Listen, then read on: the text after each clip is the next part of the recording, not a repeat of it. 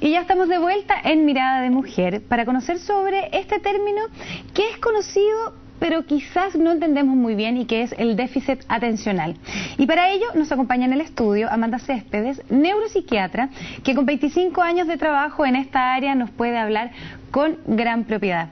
Más aún, con la reciente publicación de su último libro, Déficit Atencional en Niños y Adolescentes.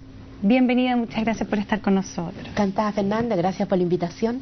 Déficit atencional, yo creo que hemos escuchado ese término, pero definirlo precisamente. Muy importante porque es un término que se mal utiliza muy a menudo.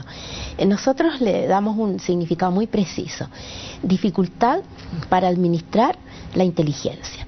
Y como los seres humanos tenemos dos tipos de inteligencia, la inteligencia intelectual al servicio del conocer y la inteligencia social al servicio de adaptarnos al ambiente, tenemos que decir dificultad para administrar la inteligencia emocional y la inteligencia intelectual. Intelectual también. Ahora, muchas veces se tiende a asociar el déficit atencional con hiperactividad, que usted bien lo ha dicho, no hay que separarlos porque pueden estar en conjunto, pero son conceptos distintos. Completamente. Hoy día eh, eh, somos todos hiperactivos, la sociedad es hiperactiva. Por lo tanto, considerar que la hiperactividad es un sello específico del niño con déficit atencional es un error garrafal. La verdad es que eh, la hiperactividad está presente en una minoría de niños con déficit atencional. La gran mayoría no es hiperactivo, puede ser inquieto. Y de hecho es bastante inquieto, sobre todo cuando está bajo efecto de ansiedad. Pero la hiperactividad no es el centro. Y yo diría que por el hecho de haber estado tantos años considerado como el núcleo del problema, es porque no hemos avanzado en el conocimiento de esta condición. De hecho, usted tiene en su libro ¿no? Eh, una mirada bastante distinta, o es el énfasis que se hace, en que el déficit atencional es tratado como una enfermedad cuando no es tal. Así es, así es. Eh, primero digamos que estadísticamente alrededor del 15% de los niños y adolescentes presenta déficit atencional.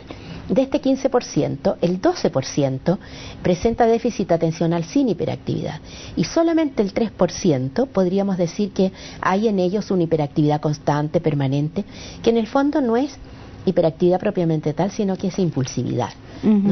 Eh, de manera que es la minoría. Y, el, tratamiento que recibe generalmente un niño con déficit atencional, el llamado Ritalin, que incluso para los niños que se asocian más a ser hiperactivos. Hiperactivos, justamente. Mira, en primer lugar, el término tratamiento nosotros en el libro también lo desmitificamos, porque es una medida de apoyo.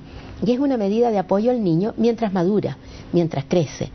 Y es una medida prescindible. Obviamente que es muy buena, es útil, pero no es lo central en el apoyo a este niño. El apoyo al niño con déficit atencional debe ser algo bastante integral, formando parte de este apoyo integral el darle un fármaco. Pero no es un tratamiento, porque el niño no se va a mejorar del déficit atencional por tomar un, un Ritalin. ¿El déficit atencional entonces no se cura? No porque no es una enfermedad, es una condición que acompaña al niño eh, a medida que va creciendo y después eh, pasa a formar parte de su vida como adulto. El déficit atencional entonces uno lo tiene Siempre. Siempre, toda la vida. Solo que cuando más se nota es cuando eres niño, porque el niño está sometido a muchas exigencias. Ajustes también, Ajustes, eh, a, evolución. De hecho, la gran exigencia en la vida del niño es el colegio y es donde eh, más se pone de manifiesto el déficit atencional.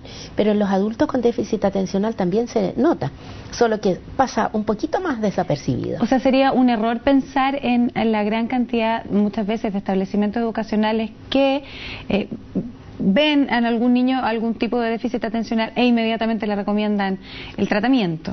Sin duda alguna, claro que sí.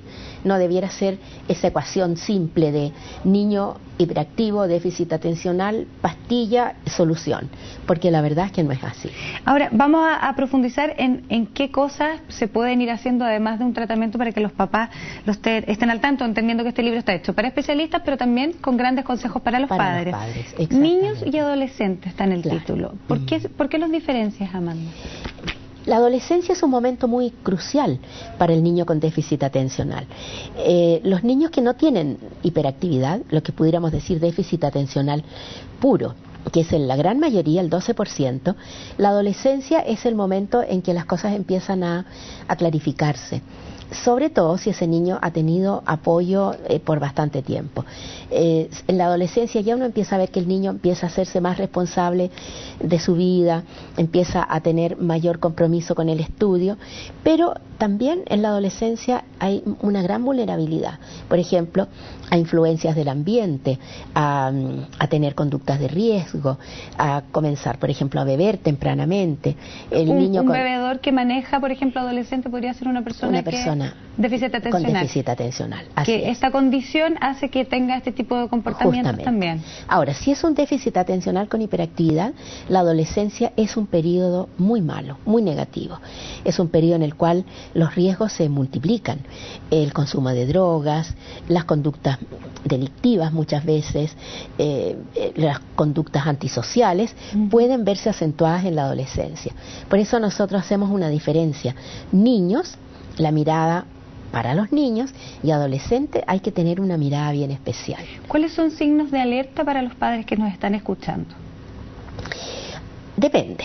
Si es un niño con déficit atencional sin hiperactividad en el periodo preescolar, el ser más eh, inmaduro para la edad, eh, el presentar dificultades para hablar y el ir al jardín infantil a jugar, pero no aprender, pueden ser algunas características o algunas señales. En la edad escolar, eh, ser un niño claramente inteligente y tener dificultades para eh, responder a las exigencias escolares. ¿Inteligentes pero aburrido puede ser? Sí, claro, muy, es muy frecuente. Ahora, si el niño es un déficit atencional con hiperactividad, las señales son distintas. En la edad preescolar es la agresividad, la impulsividad, el oposicionismo desafiante, el no hacer caso, el no respetar la autoridad, el, ser agresivo con los pares, empujar, morder, por ejemplo. Y en la edad escolar, los problemas disciplinarios. Esos problemas que en los colegios, en las escuelas, eh, se transforman en verdaderos quebraderos de cabeza para los profesores, las autoridades, porque no saben cómo llevar a estos niños. Mm. O sea, puede uno que, digamos, cuando es en la etapa preescolar no darse cuenta que tiene déficit y va a tener estos comportamientos finales en la época escolar y si no los va a presentar en la adolescencia, porque los tiene. Así es, exactamente. ¿Y cuáles son los consejos más prácticos también que podríamos darle y que aparecen claramente en tu libro en donde explicas un poco cómo funciona el cerebro además, además de estos consejos prácticos? Hay algo que es bien controvertido y es eh, atender a las preocupaciones de las educadoras de párvulos y de los profesores tempranamente. Es decir, cuando la educadora de párvulos manda llamar a los padres y les dice, me preocupa este niño, debieran hacerlo ver, prestar oídos a esa preocupación. Generalmente los padres dicen, no, lo que pasa es que los profesores quieren tener a todos los niños tranquilos, el niño no tiene nada. Eh, mientras más temprano se identifica a este niño, más fácil es poder apoyarlo.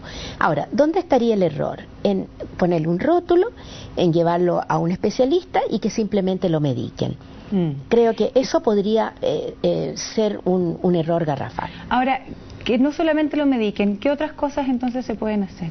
Por ejemplo, en el preescolar eh, tiene que ver con preocuparse del lenguaje, muchos de estos niños no tienen un buen desarrollo del lenguaje, eh, acomodar la vida. Eso es fundamental.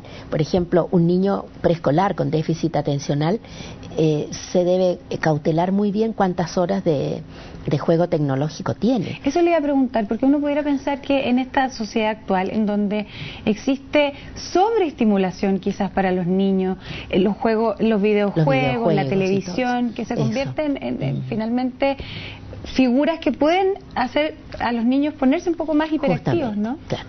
Para mí, identificar un niño en la edad preescolar es poder trabajar con los padres enseñándoles la sensatez de la crianza, eh, que tiene que ver con la alimentación, que tiene que ver con el sueño, que tiene que ver con el juego, que tiene que ver con tenerles o no tenerles espacios libres para estos niños y también tiene que ver con la comunicación afectiva y con el buen trato especialmente si estos niños son porfiados, oposicionistas y, un poco más inquietos que lo habitual, es muy frecuente que los padres comiencen a, desde muy temprano, a hacer uso del castigo físico. Por pérdida de paciencia. Por pérdida de paciencia, exasperación.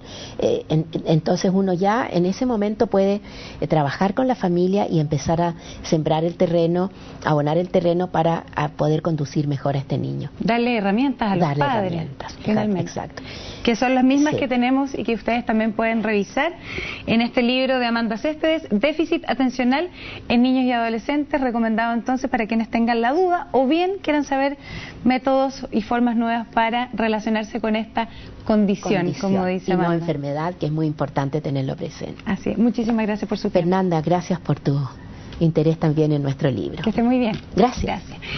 Y nosotros nos vamos a breve pausa comercial, pero continúa más. Mirada